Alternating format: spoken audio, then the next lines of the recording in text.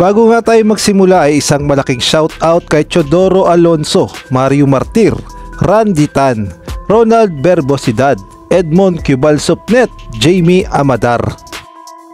At nais ko na rin i-promote ang aking Pinoy Viral Sports membership. Kung inyo nga nakikita ang join, maaari nyo nga yung pindutin at once nagpa-member kayo ay automatic kayo sa mga shoutout at gain na rin sa mga future benefits.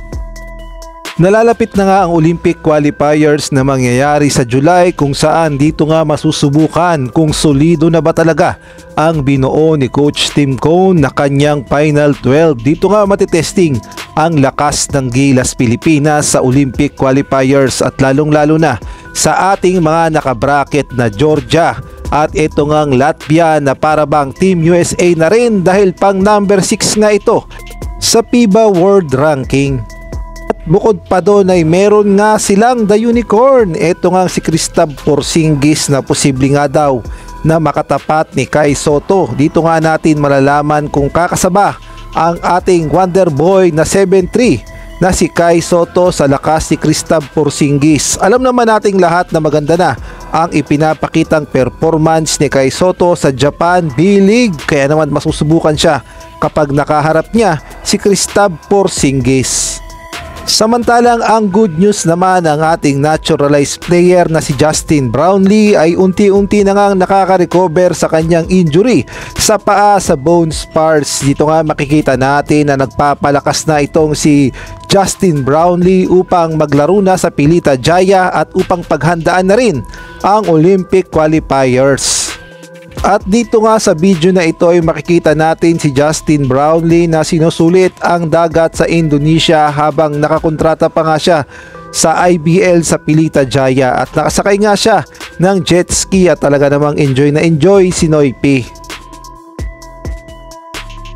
Samantalang mabalik naman tayo sa Gilas Pilipinas. Ang good news nga sa Gilas Pilipinas bago nga sila sumabak sa Olympic qualifier sa July ay magkakaroon pa sila ng dalawang tune-up game sa bansang Turkey at gay na rin sa bansang Poland. At ang mga natutunan nga nila sa kanilang mga tune-up game ay pwede nga nilang mai-apply kapag nakaharap na nga nila ang powerhouse na Latvia. Mabigat na laban nga ito at masasabi nating underdog ang Gilas Pilipinas at sabihin na nating 50-50 talaga ang tsansa nilang manalo dito sa Latvia dahil unang-una ay ito nga ang pinakamalalakas na team sa buong mundo pagdating sa larangan ng basketball. At kung at kung ikukumpara mo naman sa Gilas Pilipinas ay mas marami ng karanasan itong Latvia sa international games at sila nga ang gumagamit ng European style kaya naman mahihirapan talaga ang Gilas Pilipinas. Ngunit meron namang kasabihan na bilog ang bola Depende nga yan sa magiging practice ng Gilas Pilipinas. At isa pa nga sa mga makakalaban ng Gilas Pilipinas sa Latvia ay ang home court advantage dahil sa Riga, Latvia nga gaganapin ang kanilang laban. At makakalaban din nila ang mga fans at ang audience ng Latvia. Isa pa nga yan sa magiging advantage ng Latvia kontra nga sa Gilas Pilipinas.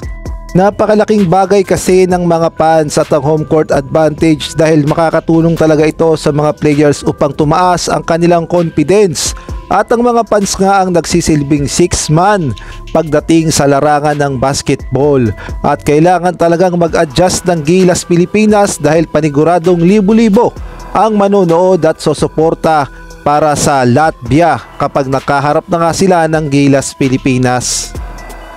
Samantalang atin namang kilalanin kung sino-sino nga ba ang mga gagamitin o ang mga posibleng gamitin ng Latvia na lineup na ipangtatapat nila sa Gilas Pilipinas at siguradong may height advantage talaga dito ang Latvia kontra nga sa Gilas Pilipinas kaya naman alimin natin ang mga players na posibleng ipangtapat ng Latvia sa Gilas Pilipinas. Kristaps Porzingis 7'2 center. Rodion Skuroks 6'9 power forward. Richard Lomars 6'1 small forward. Janis Estrelex 6'3 point guard. Davis Bertans 6'10 power forward. Dairis Bertans 6'4 shooting guard. Marex Bejeris 6'10 small forward. Clubs Cabars 6'10 center. Roland Smiths 6'10 center. Krister Sorix 6'5 point guard shooting guard. Arthur Skorox 6'4 shooting guard.